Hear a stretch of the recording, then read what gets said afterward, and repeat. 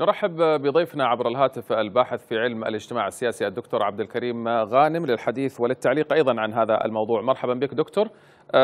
بعد عودة الزخم للأزمة اليمنية نتيجة الاتفاق السعودي الإيراني برأيك هل ينجح المبعوث الأممي في الاستفادة من هذا الاتفاق وتحويله إلى هدنة دائمة في اليمن؟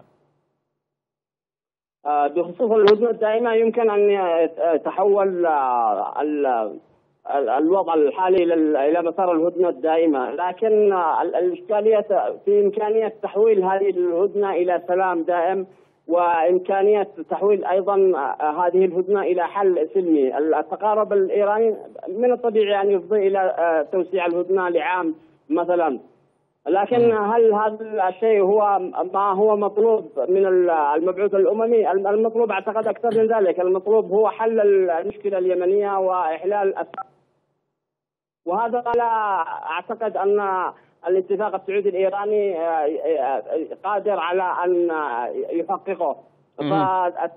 فارتباط الجماعة جماعة الحوثي بإيران ليست ليس كارتباط حزب الله بإيران لأن الحوثيين لهم هامش استقلال في قرارهم أكبر مما هو الحال في, في آه نعم.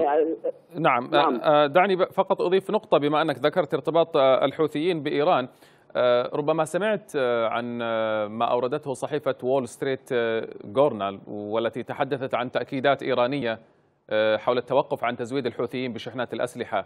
هل طهران جادة فيما تعهدت به برأيك؟ إيران تجيد المناورات وعهدناها دائما. هي في السابق لم تكن تعترف بأنها تسلح جماعة الحوثي فكانت هذه عملية التسليح لجماعة الحوثي كانت تتم سرا. إضافة إضافة إلى أن الميليشيات خلال السنوات الماضية قد راكمت أسلحة كبيرة سرطان هائله لدى الميليشيات الحوثية من الأسلحة الإيرانية. الماضيه وبالتالي لا ليس لمثل هذا القرار فاعليه كبيرة.